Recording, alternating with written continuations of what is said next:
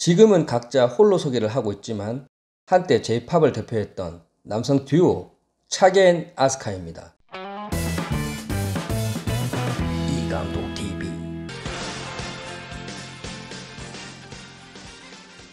안녕하세요. 예전 추억의 음악과 애니메이션을 좋아해서 지금도 프라모델 로봇을 만들어 아들한테 주는 레트로 아저씨 이 감독입니다. 이번 시간은 지난 영상 차게인 아스카의 전승기와 서울 콘서트 리뷰 1부에 이어 그 2부 순서로 차게인 아스카의 서울 콘서트 이후 이야기를 다뤄볼 텐데요. 내용이 연결되니까 1부 영상을 아직 못 보신 분들은 1부 영상을 먼저 보시고 2부를 보시길 추천드립니다. 1978년에 데뷔해 8, 90년대 후반까지 최고의 빅히트곡을 발표하고 일본을 비롯한 아시아권과 서양권에서 왕성한 가수 활동을 하던 차게아스는 2000년 8월 26일, 27일 양일간 서울 잠실 올림픽공원 체조 경기장에서 일본 가수 최초로 우리나라에 내한 콘서트를 열었는데요. 한일 대중문화 교류와 친선을 위한 자선 콘서트를 별 탈 없이 무사히 마치고 고국으로 돌아간 차기아스는 예상치 않게 일본 우익 언론들에게 비난을 받게 됩니다. 관객이 하루에 만 명도 안 왔는데 반 이상이 일본 사람이다. 한국 인터뷰에서 위안부 문제에 대한 비공식 사과를 했다.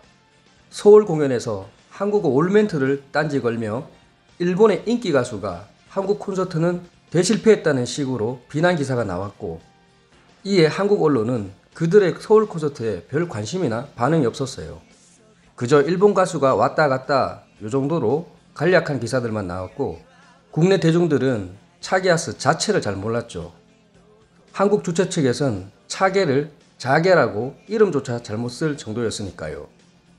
거기에다 차게아스의 소속사 리얼캐스트까지 해산하게 되는데 이것은 서울 콘서트랑 전혀 관계없이 신분으로 이적한 야마하 산하 레이블 리얼캐스트를 해체하고 차게와 아스카 둘만의 지분으로 세운 록담 아티스트로 소속사를 변경했던 것 뿐이었는데요.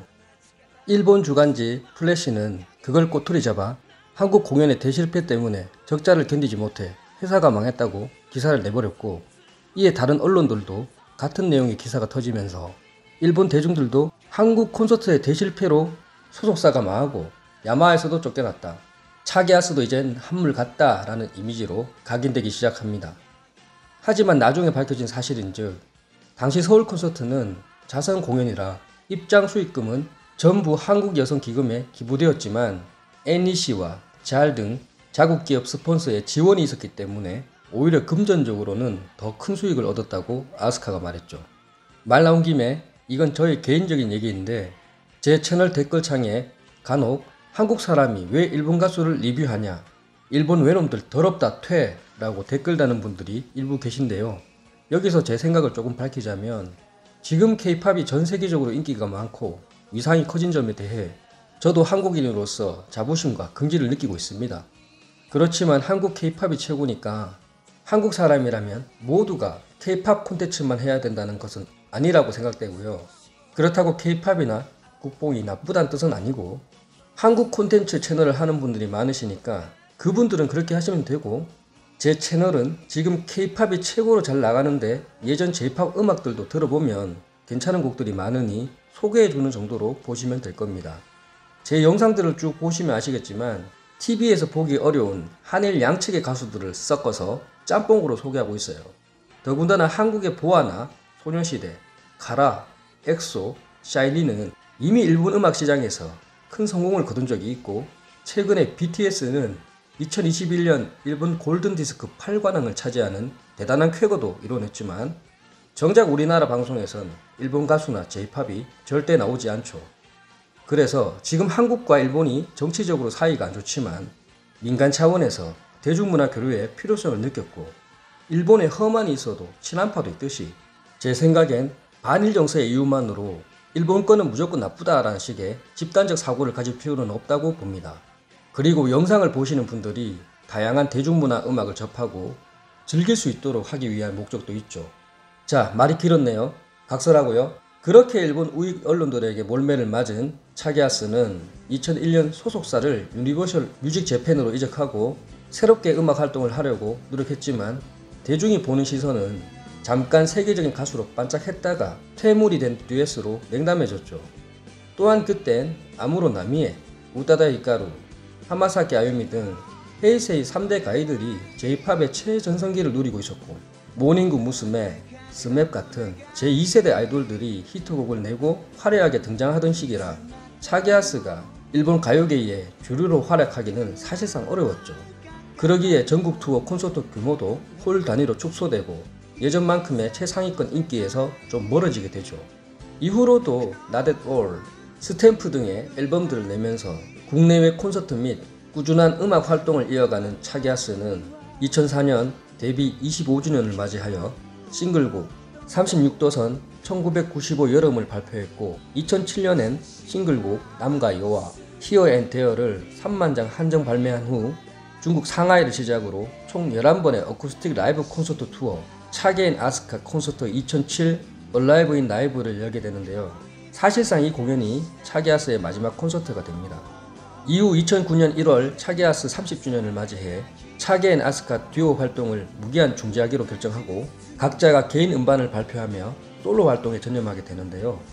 그러다 2013년 1월 1일 다시 차게아스의 재결성을 선언하고 8월에 기념 콘서트도 가질 예정이었지만 2013년 7월 일본의 한 언론을 통해 아스카의 묘약 중독 기사가 폭로되면서 일본 사회와 연예계가 발칵 뒤집어지게 됩니다. 충격적이게도 그는 몇 차례 단순 흡입이 아닌 이미 3년 전부터 오랫동안 묘약을 흡입해온 중증의 중독자, 약쟁이로 보도되었고 아스카는 그 사실을 일체 부인한 후 자숙 시간을 보냈는데요. 2014년 5월 17일 아스카가 체포됩니다. 이유는 전달인 4월 6일과 12일에 각성제 소지 혐의인데요. 그 때문에 일본 대중들은 자숙 기간 동안에도 약을 못 참는 약쟁이로 인정하는 상황이 돼버리고 이에 아스카는 반성이나 사죄 없이 합법적인 약인 줄 알았다며 핑계를 대고 혐의를 부인했지만 일본 연예계는 차겐 아스카의 음악과 영상, 관련 MD 상품들을 모두 판매 중지하거나 회수해버렸고 미야자키 하야오 감독의 애니메이션 온유어 마크도 작품 목록에서 제외했죠.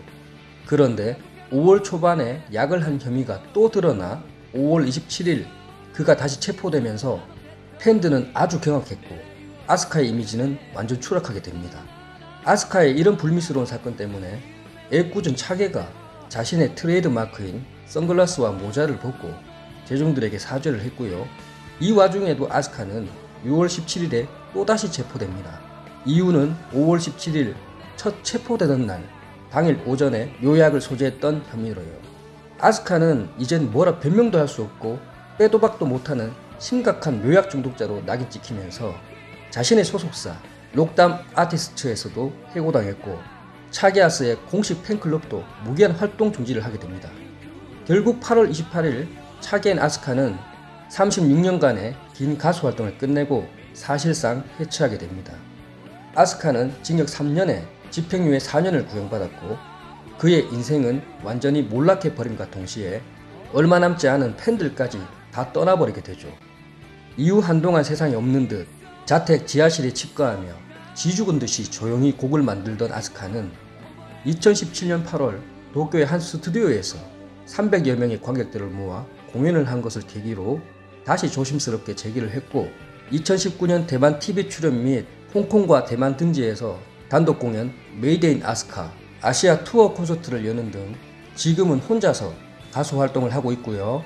차게 역시도 2014년부터 싱글곡 긴 하루, 2015년 정규 앨범 hurray, 이어 피드백까지 혼자 솔로 활동을 하며 현재 차게와 아스카는 각자의 길을 걷고 있죠.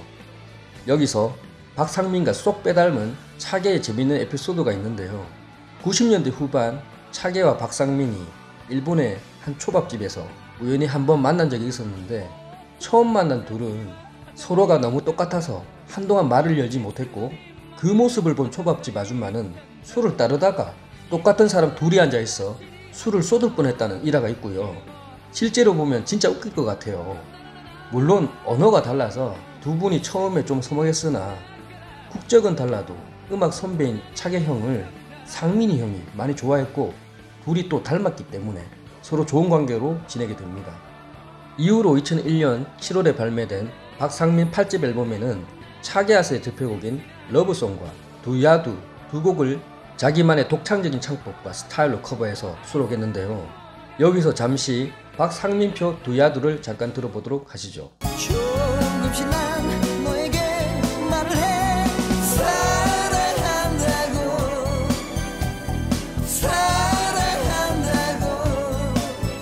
자, 요즘에도 차계 형과 상민이 형이 서로 연락하고 지내는지는 잘 모르겠으나 아스카 형과 차계 형은 거의 연락도 안 하고 지낸다고 전해지고요.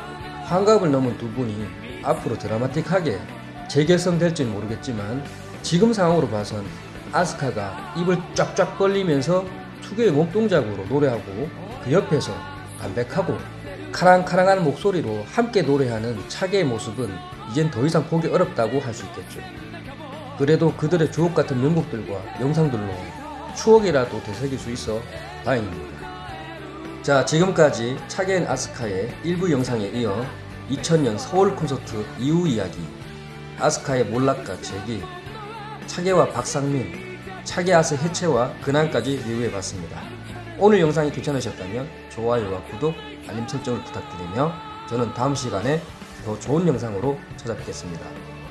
여러분 안녕히 계세요.